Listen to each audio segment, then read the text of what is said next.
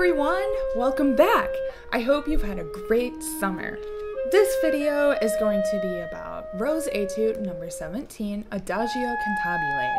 My goal here is to give you a few tips on improving your rhythmic accuracy.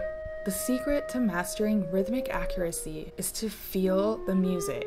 I know it sounds like I'm a hippie or something, but really, you have to physically feel the pulse, subdivision, rhythm, everything, down to your very core. To translate this into everyday practice, we must always practice with a metronome. Don't be afraid to tap your foot, your toe, your heel, something in order to physically feel the pulse. For this etude, go ahead and set your metronome to around eighth note equals 92 to 104, depending on what your musical preference is. But don't forget, this is adagio, so make sure it's slow. To master counting in slow etudes, you have to subdivide everything. I mean subdivide like crazy. This piece is full of lots of tricky rhythms, right? You have 32nds, sixteenths, sextuplets, triplets, quarter notes, eighth notes, half notes, whole notes. You've got everything, including dotted rhythms, right? Subdividing is going to be your best friend. Take a look at the measure after the double bar. There's a practice technique I like to use called articulating the subdivision. Why don't you listen and see if you can figure out what I'm doing?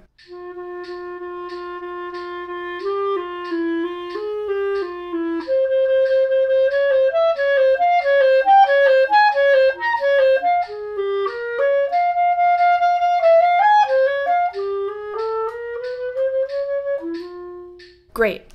So if you notice, I actually started articulating the 16th notes in the half note that preceded them. Likewise, the long note before the sextuplets, I actually articulated the correct amount of sextuplets in that long note.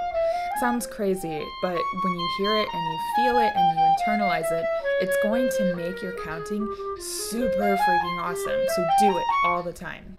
Okay, enough of all that stuff. I'm gonna go ahead and run through this entire piece for you to kind of give you an idea of how the piece goes and what it sounds like, and hopefully it'll help you out in making some of your own musical decisions. Enjoy!